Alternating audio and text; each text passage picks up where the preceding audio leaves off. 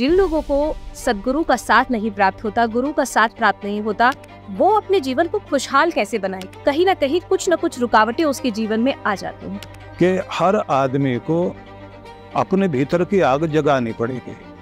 अगर वो कुछ बनना चाहता है तो उसे अपने भीतर की आग को जगाए रखने के लिए प्रेरणा चाहिए।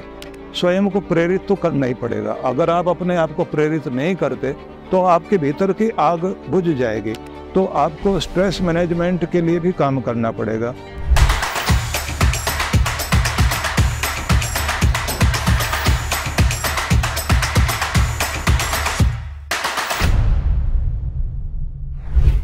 महाराज ये तो आपने बताया कि किस तरह से हमें आनंदित रहते हुए अपने जीवन को व्यतीत करना चाहिए। लेकिन महाराज एक प्रश्न मेरे मन में उत्पन्न होता है कि जिनको आप जैसे सदगुरु मिल गए उनका जीवन तो वैसे ही आनंदित हो जाता है। लेकिन जिन लोगों को सदगुरु का साथ नहीं प्राप्त होता, गुरु का साथ प्राप्त नहीं होता, वो अपने जीवन को खुशहाल कैसे बनाए? क्योंकि तनाव इस कदर आज के समय में बढ़ गया है कि व्यक्ति मेडिटेशन भी करने की कोशिश करता है, लेकिन वो मेडिटेशन नहीं कर पाता। कहीं ना कहीं कुछ ना कुछ रुकावटें उसके जीवन में आ जाती हैं। देखिए, तनाव है, ये भी एक बात है, और दूसरा के सदगुरु जीवन में नहीं है तो एक बात तो ज़रूर ध्यान रखनी पड़ेगी कि हर आदमी को अपने भीतर की आग जगानी पड़ेगी।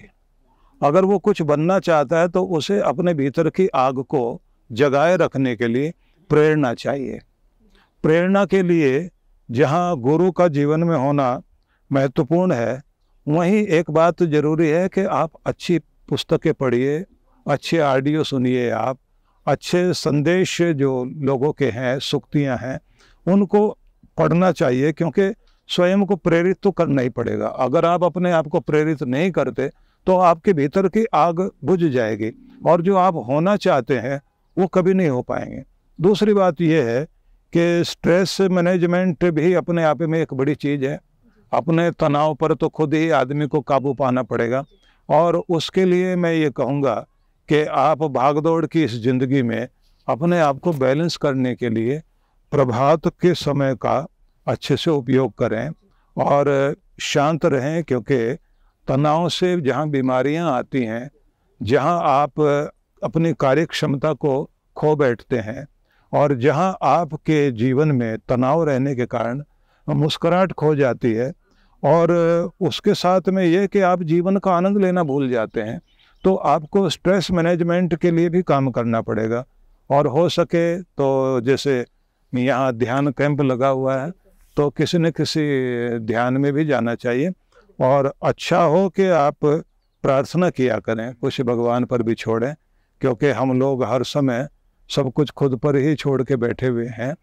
या फिर एक आदत और होती है हम लोगों की कि हमेशा दूसरों को दोष देते रहते हैं कि मैं दुखी हूँ इसके कारण मैं दुखी हूँ उसके कारण। इस कारण भी ये समस्याएँ आती हैं। तो संभालना तो खुद को खुद ही पड़ेगा।